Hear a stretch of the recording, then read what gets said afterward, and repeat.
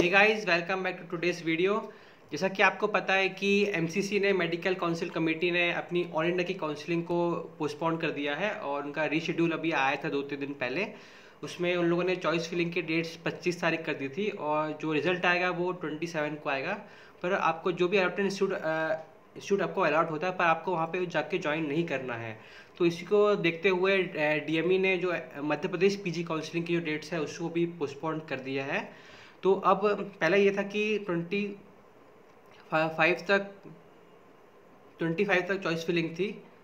और पर इसको अब टीएमई ने पोस्टपोन करके तीस अप्रैल तक कर, तीस मार्च तक कर दिया सॉरी तीस मार्च तक अब आप आप बेसिक रजिस्ट्रेशन करवा सकते हैं। पहले ये था कि ट्वेंटी सिक्स को मेरिट लिस्ट आनी थी और ट्वेंटी सेवन से चॉइस फिलिंग स्टार्ट होनी थी। तो इन दोनों प्रोसेस को अभी डीएमई ने पोस्टपोन कर दिया है। और अभी ये इन्होंने ये सब बस बोला है कि आप 30 मार्च तक अपना बेसिक रजिस्ट्रेशन करवाइए। फर्दर स्टेप्स के लिए हम आपको इन्फॉर्म करेंगे। उसके लिए आप, आपको जो डी की साइट है उससे टच में रहना है। तो अभी आपकी मेरिट लिस्ट और चॉइस फिलिंग का जो स्टेप है वो तीस तारीख के बाद ही होगा। तो आपने तो अभी तक बेसिक रजिस्ट्रेशन नहीं करवाया तो आप अभी भी करवा सकते हैं।